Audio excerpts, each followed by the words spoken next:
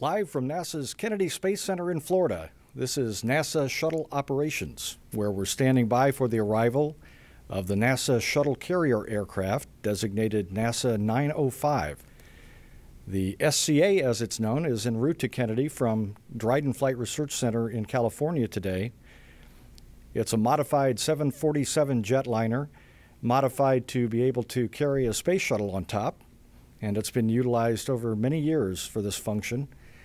This, however, will be its final ferry flight as it arrives at Kennedy Space Center for the last time and is prepared to ferry Space Shuttle Endeavour from Florida to the California Science Center via Los Angeles International Airport in California. Currently, we're expecting landing at about 5:05 p.m. Eastern Time. The shuttle carrier aircraft will be landing on Kennedy's shuttle landing facility runway 15, which is the northwest to southeast runway. Beautiful weather conditions here in Florida. Despite uh, a front moving through over the last several days, bringing afternoon thunder showers, today the weather has cooperated. We have an entirely new weather pattern, uh, hopefully portending good weather for the entire ferry operation uh, and the operations to attach Space Shuttle Endeavour to the shuttle carrier aircraft. Once it arrives, the shuttle carrier aircraft will be prepared for this operation. Its pilots will uh, undergo uh, weather briefings and work with the team here at Kennedy Space Center to prepare the aircraft as well as Space Shuttle Endeavour.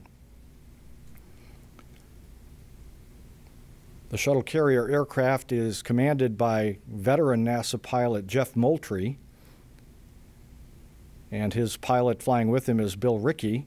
It's an entirely veteran crew of NASA pilots who have been with uh, NASA for many years, training astronauts and flying a whole series of aircraft, including these shuttle carrier aircraft.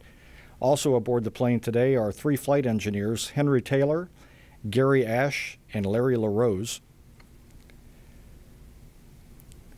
They'll set the aircraft down and taxi over to the mate demate device, which is located here at the shuttle landing facility.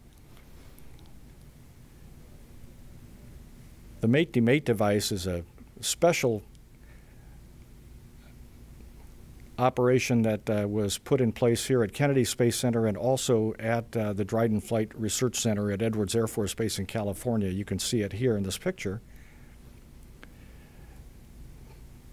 It enables the large 747 to move underneath it, uh, which it will do on Friday. Uh, what's going to happen after the shuttle carrier aircraft lands today and a whole series of operations begin on Friday morning at 5.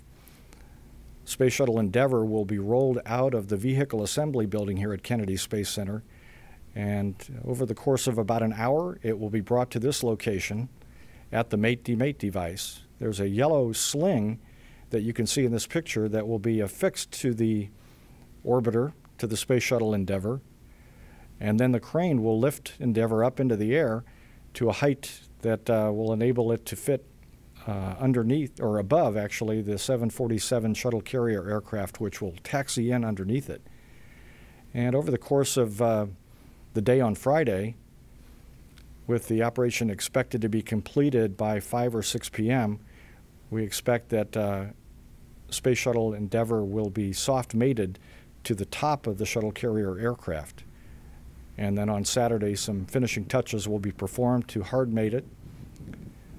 On Sunday, the shuttle carrier aircraft with Endeavour on top will back out of the mate demate device and then be readied for the ferry flight to California, which will begin at sunrise on Monday morning, September 17th.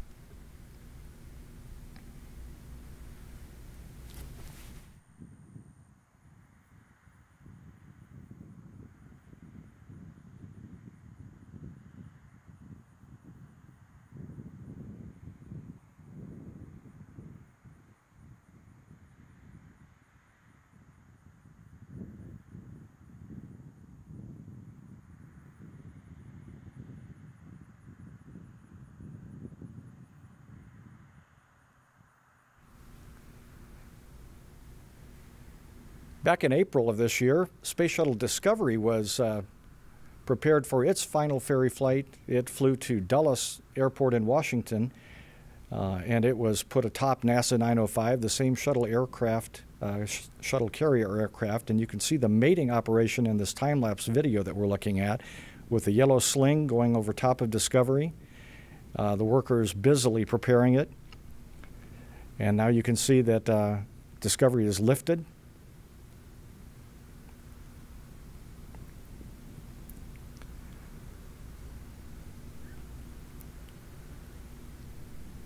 There are four attach points for the yellow sling.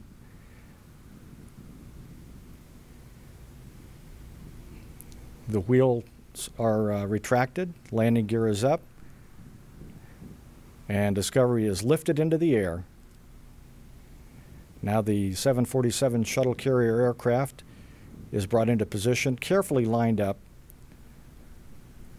It needs to match up with three attach points, one in the uh, front and two in the rear, the same attach points that attached the space shuttles to the external tanks when they flew into space.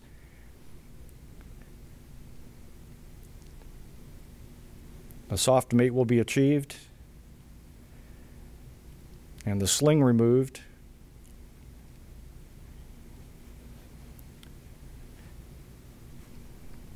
And then the, uh, the work team will complete the operation of hard mating the space shuttle. Again, this is Space Shuttle Discovery. This was performed prior to Discovery's April 17th ferry flight to Washington, D.C.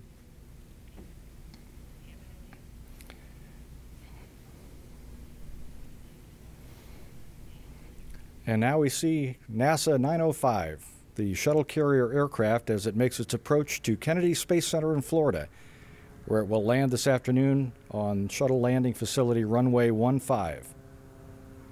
Once again, Jeff Moultrie is at the command. Bill Rieke is uh, in the right seat, and three flight engineers are all keeping an eye on systems. It's a heavily modified Boeing 747 with unusual handling characteristics. It uh, takes a lot of experience to fly, especially when a shuttle is mounted on top. This is the same team predominantly that ferried Space Shuttle Discovery to Washington and Space Shuttle Enterprise to JFK Airport in New York, also in April of this year.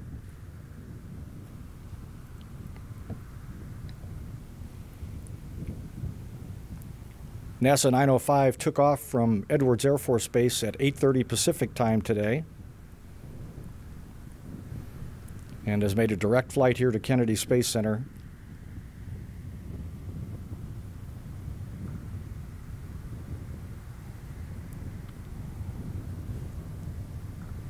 The shuttle carrier aircraft has the three struts with associated interior structural strengthening to uh, help facilitate carrying a shuttle on its back. It also has two additional vertical stabilizers from a normal 747, one on each end of the standard horizontal stabilizer, and this helps with stability. All the seats and interior furnishings have been removed.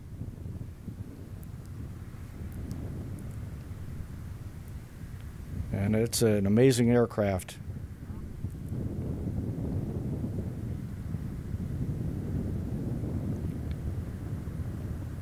Landing gear are down. As the 747 shuttle carrier aircraft makes a sweeping turn over the space coast of Florida. Again, it's approaching from the northwest to the southeast and will land on runway 15 at the shuttle landing facility.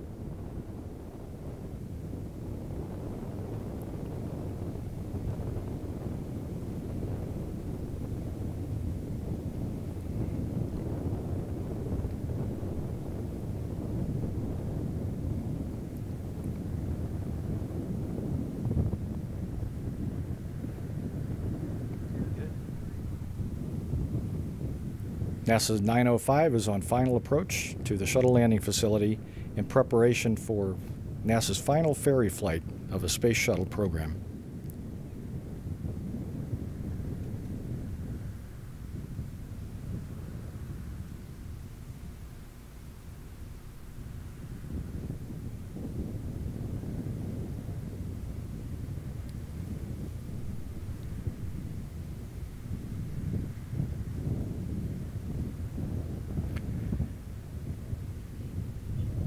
We're looking at a view from a camera mounted on the vehicle assembly building.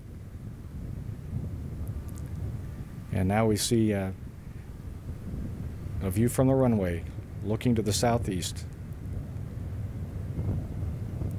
And we have touchdown.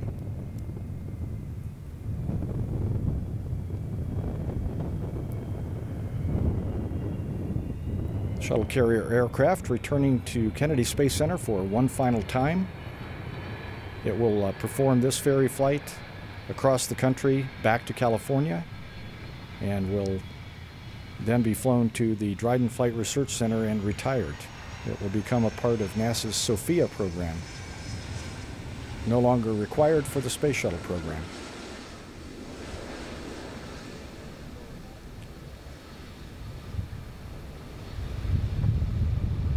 You can see the struts mounted on top of the shuttle carrier aircraft uh, to which Space Shuttle Endeavour will be affixed on Friday.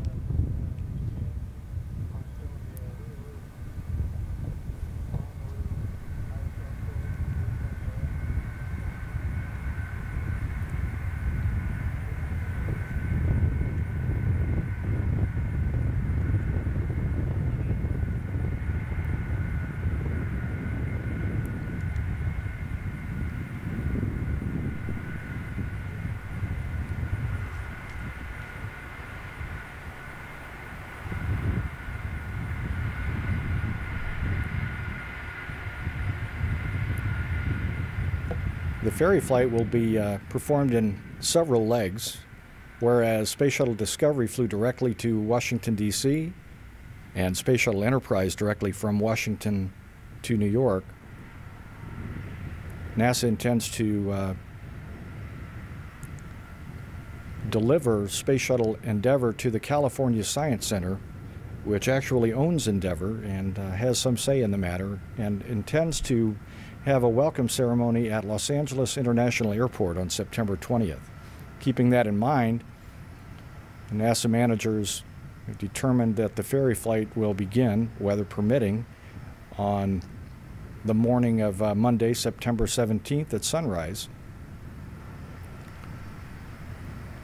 This shuttle carrier aircraft with Endeavour atop will take off here from the shuttle landing facility and make a flyover of the Space Coast flying over Kennedy Space Center and the Kennedy Space Center Visitor Complex and the nearby Cape Canaveral Air Force Station, as well as Patrick Air Force Base, and additional areas of the Space Coast to uh, show off the shuttle carrier aircraft and Space Shuttle Endeavour one last time for the workforce and residents here of the Space Coast before flying back over the shuttle landing facility and waving goodbye and then heading off to the west.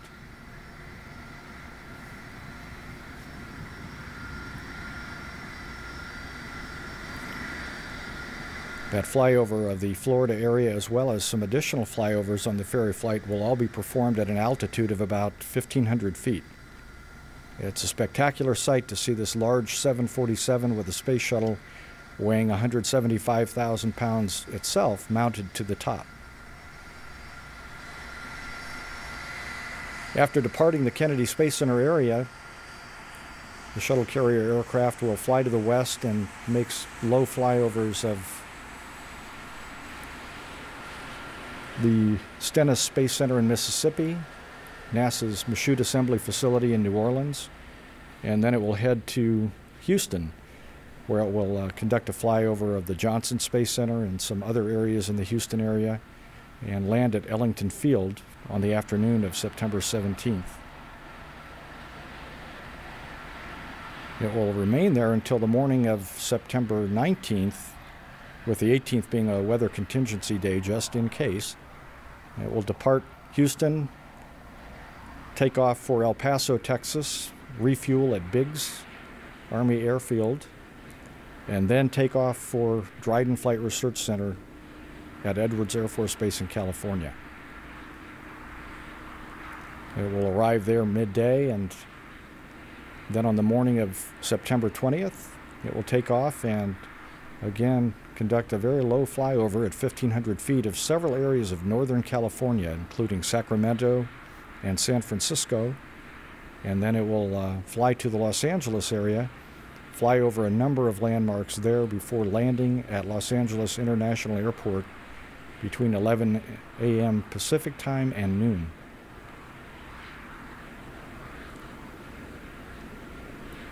So, a big week in store for the shuttle carrier aircraft, Space Shuttle Endeavour, and the crew and the workforce here at Kennedy Space Center. And this is the first step with the arrival of the shuttle carrier aircraft here to the shuttle landing facility.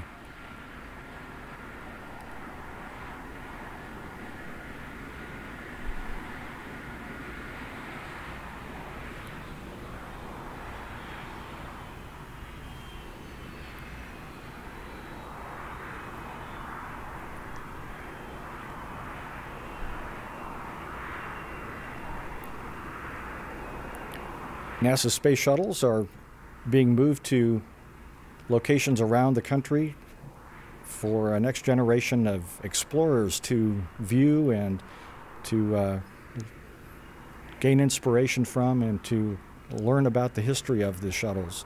Discovery is at the Udvar-Hazy Center, part of the Smithsonian's National Air and Space Museum. It's the annex at Dulles Airport in Washington, D.C. Enterprise was the prototype space shuttle. It performed the approach and landing tests in 1977 that were a precursor to the orbital flights and really established the fact that the shuttle could land as a glider. And this particular aircraft that you're looking at right now, NASA 905, was the shuttle carrier aircraft that carried Enterprise on those approach and landing tests way back in 1977 and will be performing the final ferry flight of the Space Shuttle program. Endeavour, of course, will be going to the California Science Center in Los Angeles. And Space Shuttle Atlantis will stay here in Florida. On November 2nd, it will roll from Kennedy Space Center to the nearby Kennedy Space Center Visitor Complex.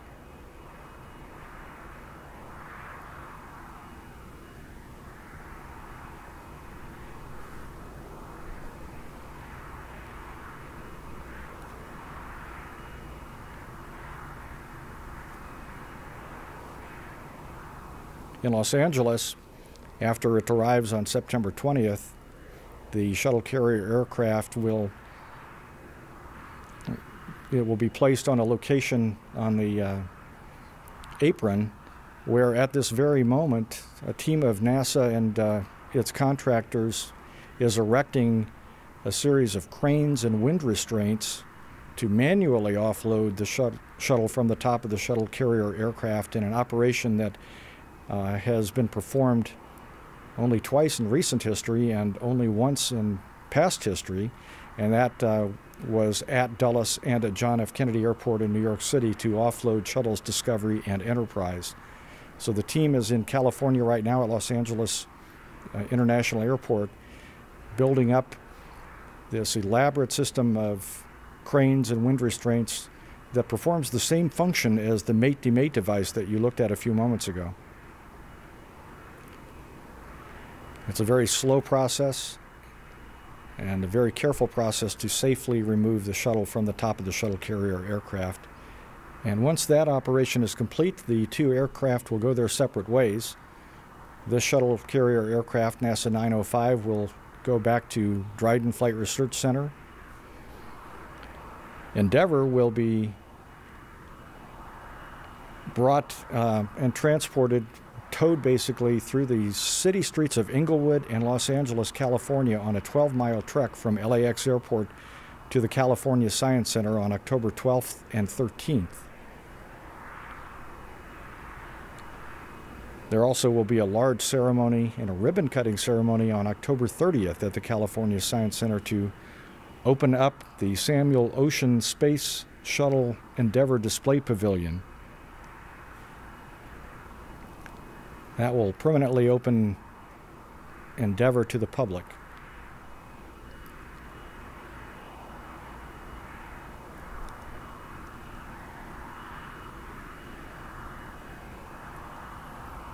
The flight crew aboard the uh, shuttle carrier aircraft is making final preparations to uh, disembark. Their work is pretty much done for the day. They will remain here at Kennedy Space Center and perform some work on the aircraft in preparation for the ferry flight, which again will begin on Monday, and for the mating operation that will begin about 6 a.m. on Friday.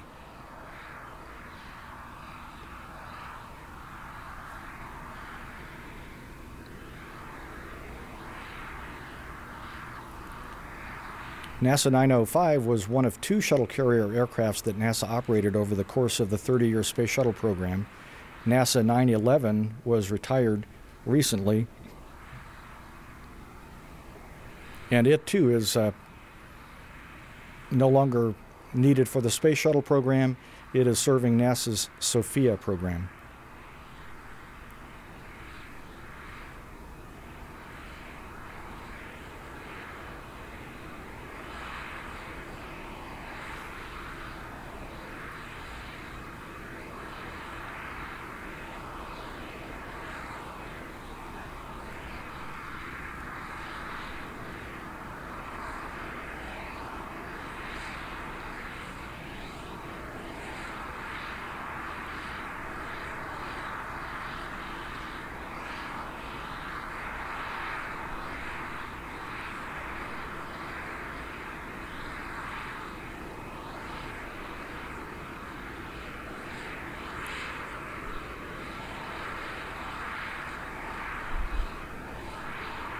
The shuttle carrier aircrafts performed a number of ferry operations over the years when space shuttles were diverted to an alternate uh, landing facility or early on when the shuttles were landing intentionally at Edwards Air Force Base uh, and then flown back to Kennedy Space Center to, uh, to launch again.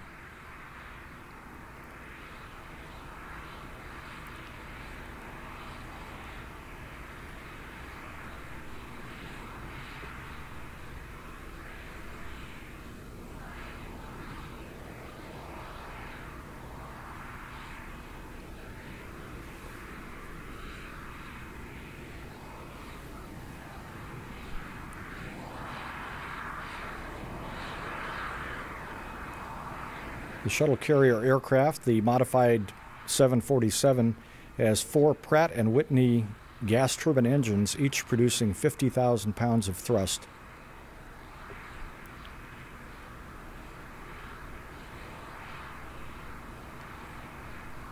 With the space shuttle attached, the shuttle carrier aircraft is typically cruising at an altitude of about 13 to 15,000 feet, much lower than a commercial jetliner.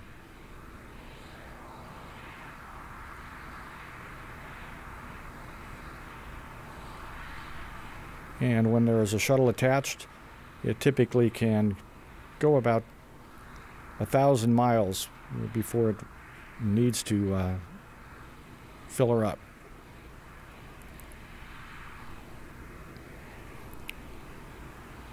The aircraft holds a little bit more than 47,000 gallons of jet fuel.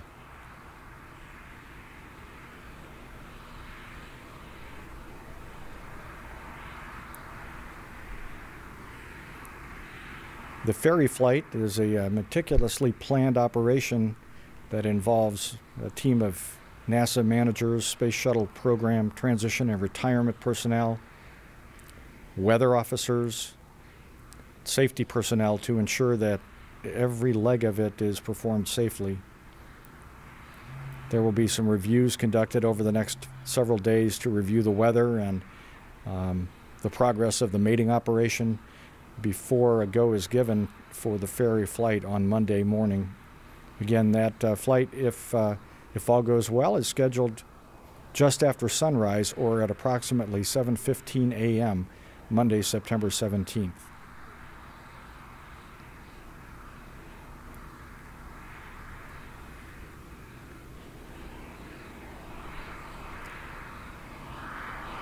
In order to ensure that Endeavour arrives at Los Angeles International Airport on the prescribed day of September 20th. We'll begin the ferry flight on on Monday, and then uh, there will be a weather contingency day spent in Houston on Tuesday, September 18th. Again, uh, the shuttle carrier aircraft and Endeavour will take off from Kennedy, perform a flyover of the Space Coast area, head to the west, and fly over areas in Mississippi and Louisiana before flying over areas of Houston and landing there at Ellington Field, where it will remain on the ground for the duration of the 17th and all day on the 18th, and then take off on the morning of the 19th westbound towards El Paso, Texas. It will take on fuel in El Paso and uh, fly over White Sands Test Facility, and then uh, head towards Edwards Air Force Base and the Dryden Flight Research Center. Throughout the ferry flight, NASA social media followers can follow hashtags pound OV105 and pound spot the shuttle. It will be uh, quite exciting to see the amount of people posting pictures and sending pictures uh, as the shuttle conducts its ferry flight across the United States from Florida to California.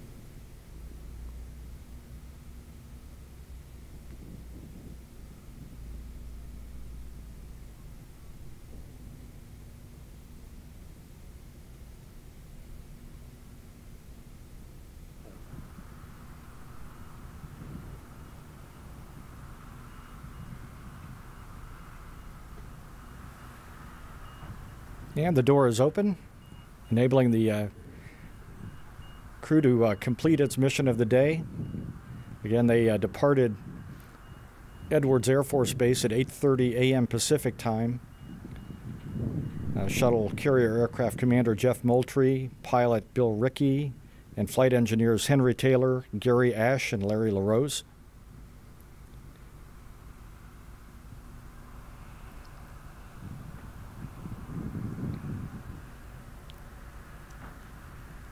Again, they'll be remaining here at Kennedy Space Center in the area for the next several days, taking care of their aircraft and preparing it for the ferry flight, while the workforce at Kennedy, which has been uh, processing Space Shuttle Endeavour and preparing it for this, uh, will perform the mate operation at the mate demate device.